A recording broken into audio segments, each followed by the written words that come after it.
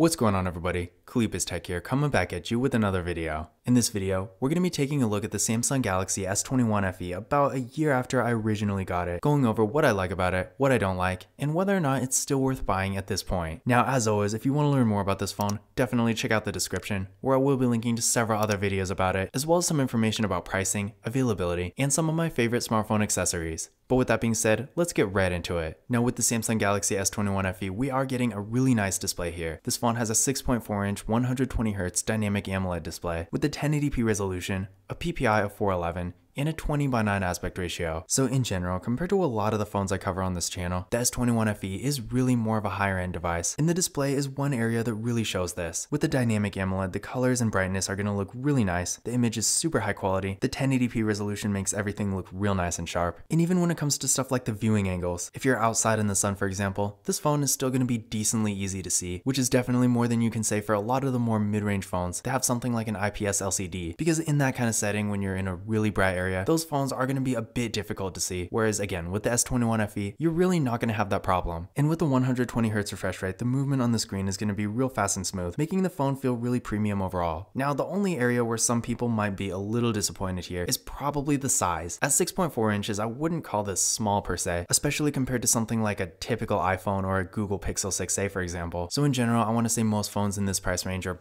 at least the price range this phone was originally in, is quite a bit cheaper now. But when it comes to the displays you get with a typical entry-level flagship phone, like the base level iPhone 13 or the Google Pixel 6a, compared to those phones, the S21 FE is a bit larger. But again, compared to the average smartphone in general, I feel like most of them, for Android phones at least, are around 6.5 inches. So yeah, the S21 FE is a little bit under average, but in my experience, unless you're really looking for a giant display like a Motorola Moto G stylus size display, then I feel like it's not really going to make a huge difference. But aside from that, really everything else about this display is great. The image quality again is really good, and with a 20 by 9 aspect ratio, we're getting a decently tall and narrow form factor. So if you're doing something like browsing the web, using social media, stuff like that, you'll be able to fit a decent amount of content on the screen without having to scroll too much. And if you're doing something in landscape mode like watching videos or looking at photos, you're to get a nice immersive experience. Things are to look more cinematic, and in general, it definitely is going to look nice. So overall, if you are looking for a phone that has a really good display, then I do think the Samsung Galaxy S21 FE is going to be a real good choice. And back when this phone first came out, sure, it was going for around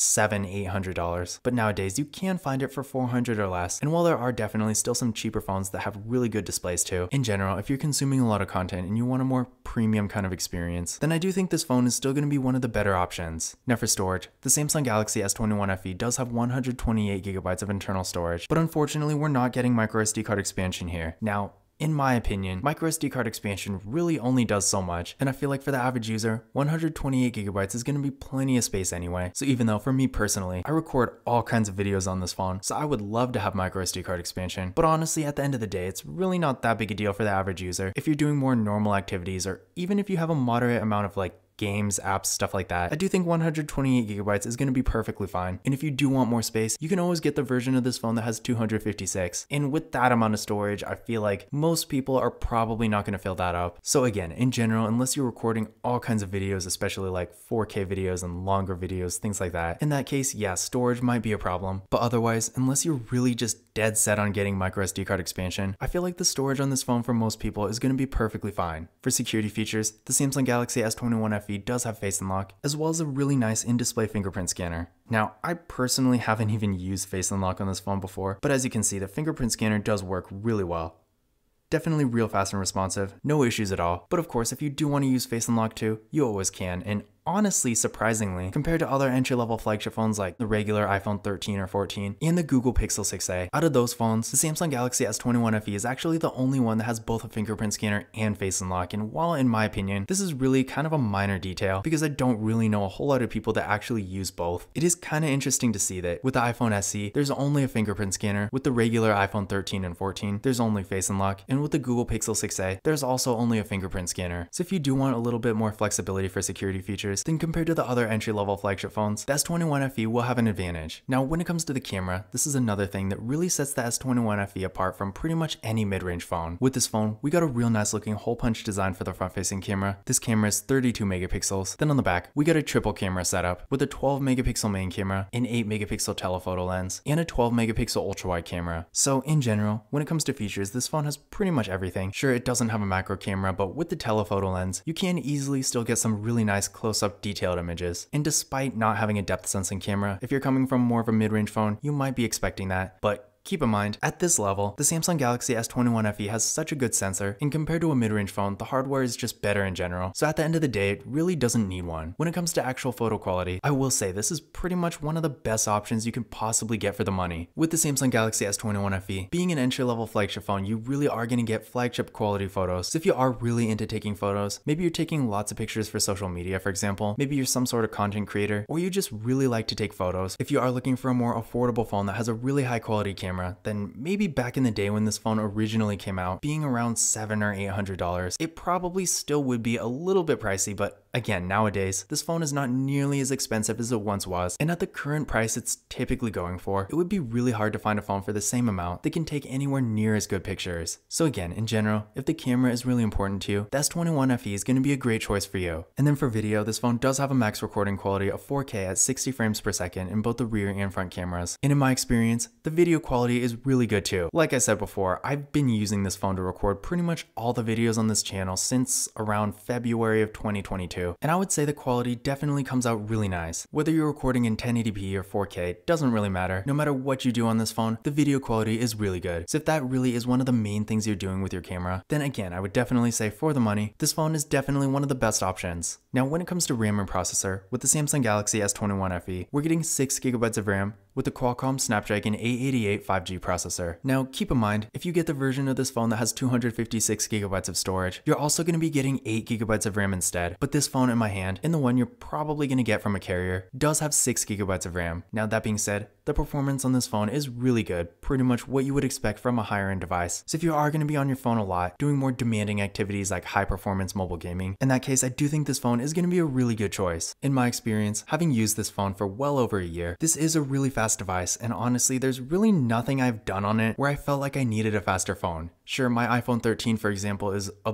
bit faster technically on paper, but honestly I didn't really notice a difference. Now granted, I'm not really the biggest power user and the things I do on a regular basis don't really require that much processing power anyway. I mean, I feel like if I had a Samsung Galaxy A53 5G for example, I would personally get by just fine. But regardless, when it comes to processing power, I feel like there's a point where once a phone gets past a certain level, you're really not going to notice a huge difference from one phone to the other. Like for example, if you compare this phone to something like the iPhone SE or the Google Pixel 6a, sure, one of those phones is going to be faster than the others on paper, but really they're all going to be able to do the same kind of thing. So if you are looking for a phone around that flagship level, then again, for the money, the Samsung Galaxy S21 FE is going to be a great choice and honestly, I don't really think many people are actually going to need a faster phone than this. Now, I did run a benchmark test on this phone using Geekbench 5, and here are the results I got. So what you can do is run this test on your current phone and then compare your results to these, and that's going to give you a better idea of whether or not this phone is going to be a performance upgrade for you. But in general, honestly, I feel like this phone is at the level where if your phone is actually faster than this, you're pretty much to know already, because at this point, there's really only a handful of phones out there that are. But yeah, again, in general, when it comes to performance, I feel like for most people, you're not really to need a whole lot more than this. And sure, if you want something like an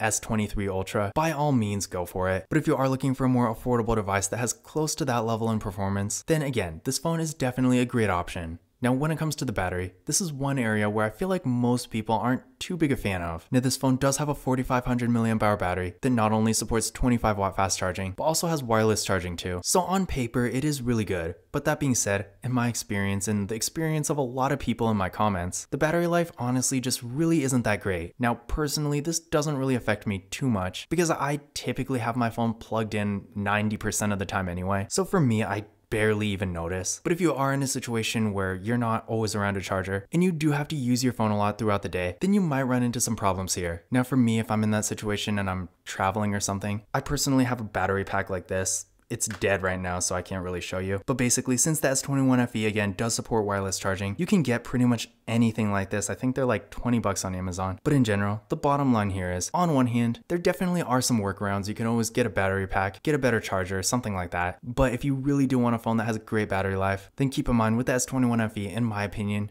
just based on my experience, it is at least okay, but honestly, compared to a lot of phones out there, it's not the best. But that brings me to my next point in that if you are looking for more of a higher end device like this, compared to something like the Google Pixel 6a or the iPhone SE, which is pretty much this phone's direct competitors, you're really not going to do a whole lot better. I mean, for some reason, entry level flagship phones and even lots of normal flagship phones for that matter, just don't really have great batteries. For example, look at the iPhone 13. Sure, the Pro Max might be different, but my iPhone 13, which is basically the normal model, doesn't really have the best battery either. So the point here is, if you are looking for a higher end device like this, despite having some benefits, the battery is definitely one of the more common drawbacks. Now for the software, this phone does have Android 13, which is honestly not surprising considering this is first of all a Samsung, which is already known to have really good software support, but also as a more high-end device, I would hope it would have the newest version of Android. But as far as long-term software support goes, this phone should be getting two or three more updates. So if you do want to get this phone and keep it for a longer time, then again, keep in mind, the software support on this phone is definitely good. In addition to this, this kind of goes without saying considering this is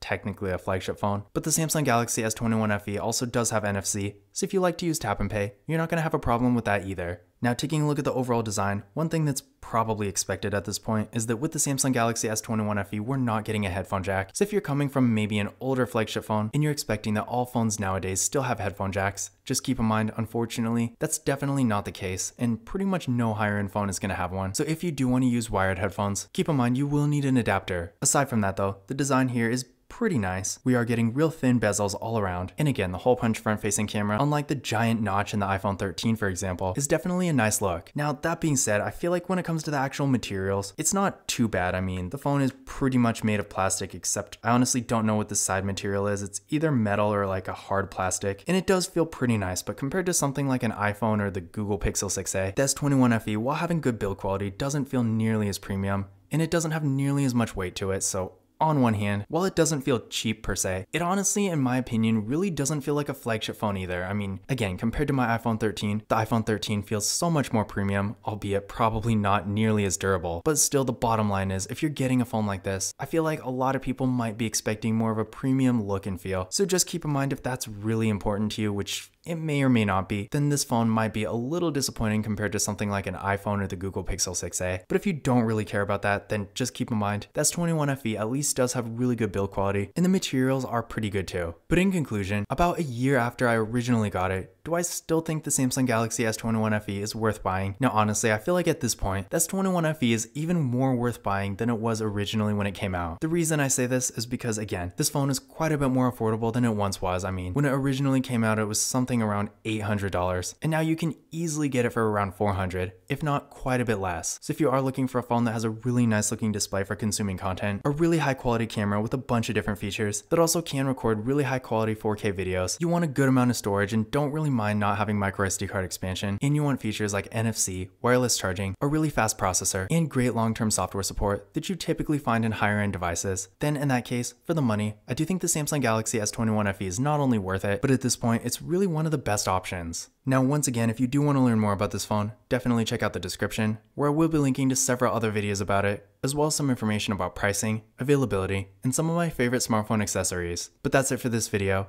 If you enjoyed it and found it useful, be sure to give it a thumbs up and hit that subscribe button. Don't forget to follow KalipezTech on Twitter and Instagram. And as always, I will see you in the next video.